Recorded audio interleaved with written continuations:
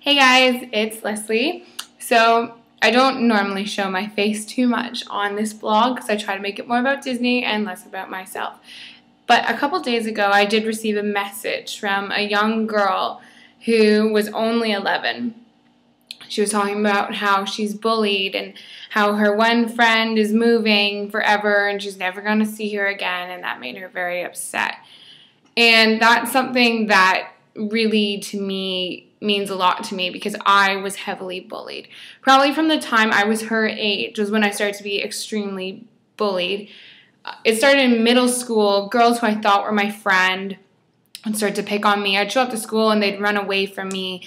I'd have you know, one day I went home at lunch because I didn't really like to stay at lunch because, you know, my friends, I didn't like to eat with them because then I'd be picked on and I didn't want to have to deal with recess. So I just went home and I checked my e- email and I received an email from one girl in my class who said, so and so doesn't like you, and then listed off a list of literally everyone in grade 7 and 8 who didn't like me. Which then I go back to school. I talked to even the girls I would walk to school with who I thought were my friends, and they just looked at me and said sorry and walked away. I had teachers who would bully me. I had, like, you know how everybody has that book, a little notebook that you pass between your friends in the hallway? I had one teacher take it from me. This is when I'm at my most bullied, put it up on the bulletin board. Just I wasn't passing it. It was just sitting there in my bag. He took it out, put it up on the bulletin board. The end of class, like everyone else got to do who got their notes confiscated, I went up to get it. He knew I was bullied. He said, "No, that stays there." So for the rest of the day, I had the grade sevens and the grade eights all walk through able to read my book. So when you're a bullied person, the last thing you want to know, is, the last thing you want is to have someone to know all of your private details because then that just gives them more fuel.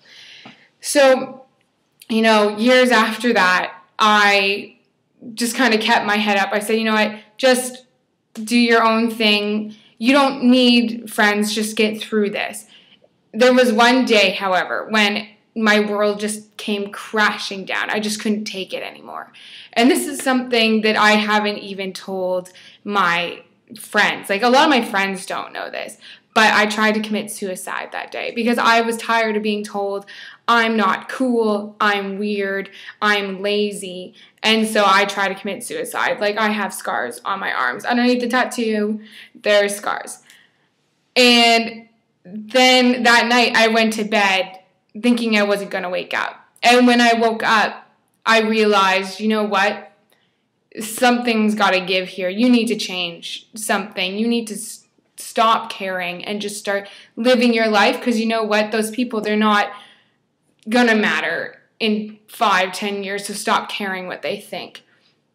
About a week later, I was given the opportunity to job shadow Annie Leibovitz, which you Disney fans know as the photographer who did all the celebrities like the Snow White and the Cinderella and the Alice in Wonderland with the different celebrities. So I got the opportunity to job shadow her. And she sat down and she spoke to me and she listened to me and she told me, you know what? You have talent. You need to pursue this. You need to work hard and just work at what you do because you're going to be someone that day. And I remember thinking, why does she why is she saying this? Because no one, not a teacher, not a friend, ever told me I'm going to be someone someday. So why is this woman who, you know, was the last one, for instance, to photograph John Lennon, why does she, like, why does she want to say that about me? I didn't get it. But then I just started to realize, you know what? You have to believe it. She had told me she was weird, she was bullied, and then I got to thinking almost every celebrity, I've never heard them say, you know, I was really popular. No one ever picked on me. They all had to hold their head up high and they all became something way more than anyone they went to school with ever did because they worked hard because bullies just they make you stronger they make you a stronger person you today i'm 23 now and my life is so different from where it was 10 years ago i'm and like I even get picked on still. You can still see it. You guys see it on this website, which I've never been on, but I get picked on all the time. I get messages saying, stop posting your shit on Image Fave. I don't know what that website is. I've never been on it. I don't post on it, but I still get bullied. You still see it. But my response is if I cared what people thought, I would not be writing a fashion blog based on Disney characters. There's nothing less mainstream than that. It's definitely not well accepted in the fashion industry, and I'm definitely still doing what I want to do, being as weird as I want to be, and just living my life. And that's because of the confidence I gained just by holding my head up high and saying, I don't care about bullies. It doesn't, the, it gets better. It doesn't get better instantly. I promise you that. It sucks. It sucks for a long time. And you just gotta keep going. You just gotta, like, for instance, I, I remember one day I said, you know what? If I have to, I'm gonna eat lunch in the library. I don't need friends because I'd rather have no friends and just myself than people who always tear me down. So you just got to keep building yourself up. And then one day it will get better. And it doesn't necessarily stop. There's always going to be someone who has an issue with you because you're confident in being who you want to be, but you stop caring what they think.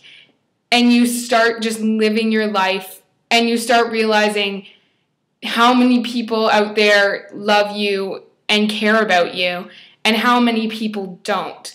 So the way I look at those haters, you know, like the the Captain Jack Sparrow post I just posted today, the quote when when they say you're the worst pirate I've ever heard of, and he says, "But you have heard of me." So you know what? You want to hate my post, you want to hate my fashion, because those people are my biggest bullies right now. Right now, but I don't care. But it doesn't matter because you've seen them and you're not even searching for them and you've seen them. So that must mean that someone out there cares because they're posting them and I'm not. I'm too busy to even be posting them on these image sites. So, and the other big thing is I wear this bracelet every day and it's a Walt Disney quote. And it says, it's just a portion of the quote. And it says, a kick in the teeth may be the best thing in the world for you. And that's what I've learned. Every time I get knocked down, only the best things come from it because I realize I either sit here depressed, not going anywhere, focusing on what that person said or what that person did or what has happened to me, or I keep going and I work around it. And a kick in the teeth has always been the best thing in the world for me because I wouldn't be where I am today if I didn't get I didn't get kicked in the teeth a thousand million times. So I just wanted to address that girl and anyone out there who is bullied because that's a soft spot for me. I know what that feels like. I know what it feels like to just think your world is done because the girls at school don't like you.